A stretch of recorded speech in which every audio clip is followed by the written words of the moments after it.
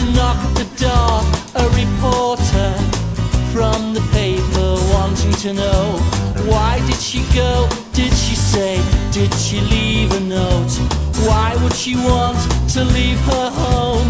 We don't know. We just don't know.